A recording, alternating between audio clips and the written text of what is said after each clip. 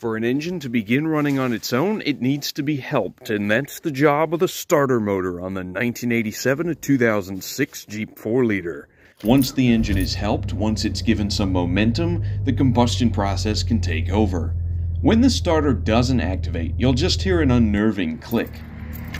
Nope and nothing otherwise seems to happen. The most common cause of this on the Cherokee would be the neutral safety switch. That's a lever connected to the transmission that detects which position the gear selector is in. It only allows the starter to engage when you're in park or neutral, of course, preventing the vehicle from suddenly jolting forward. The neutral safety switch, or NSS, gets gummed up over time. Grease and dirt work their way inside the lever portion and prevent electrical continuity. With no confirmed signal that the transmission is in park, the ECM won't allow the starter to engage. So you get in your Jeep for the day, fuel pump primes, no crank. If you have an automatic, move the selector back and forth between everything in park and try to start it when it's in neutral. So that tells me this Jeep has a bad neutral safety switch.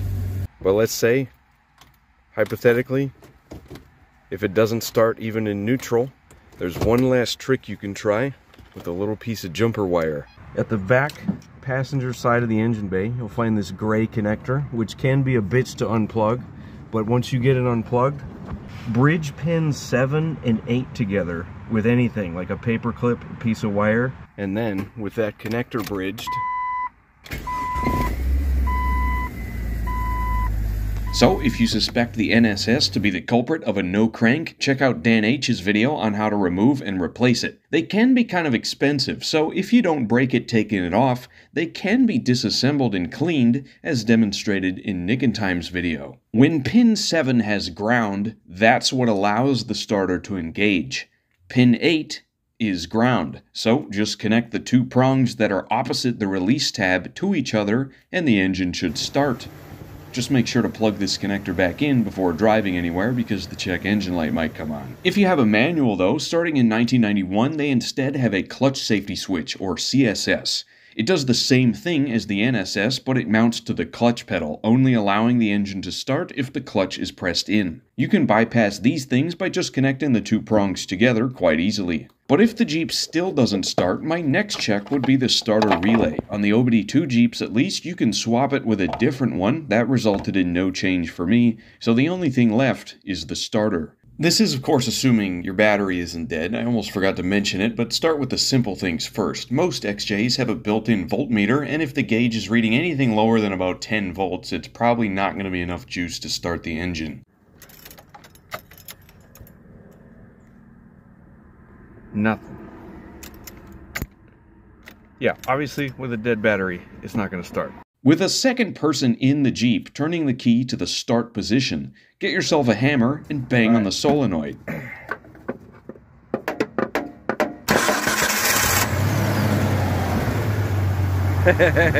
or if you have a manual, you can always push start it too. Well, make sure there's nobody coming, and then we start rolling.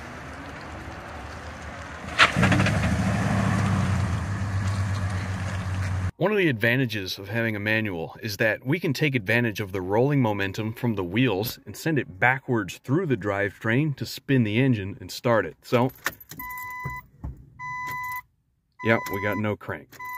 Starter ain't working. So, with the key in the run position, we're to put it in first gear if you're going to roll forward, reverse if you're going to roll backwards. Holding the clutch down, I'm just rolling forward, once we get going about five miles an hour, just drop the clutch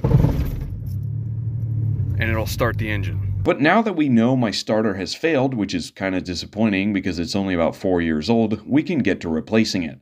The starter on the 4 liter has two variations. Up to 1998, the connection point for the solenoid ground uses a stud, where in 1999 it's a simple plastic connector. This is literally the only thing that makes the starters different, and literally the only reason the 99 plus starters can be over twice the price. So, to save myself nothing short of $100, I've got a 98 starter here I'll be putting in my 01 Cherokee. The only things you'll need to do this are a ring terminal and some wire crimpers.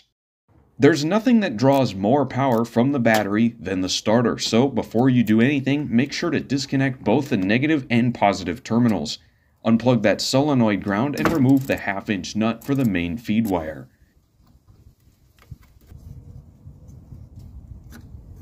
Then a 15 millimeter bolt on the top, the transmission side, and a 9 16 bolt on the bottom on the engine side. Oh, there we go.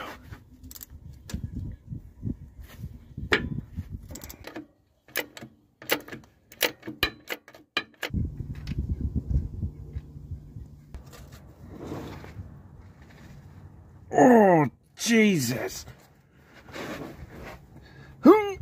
Ah, damn, whoever torqued these starter bolts sure wasn't messing around. Look at this shit. Yep.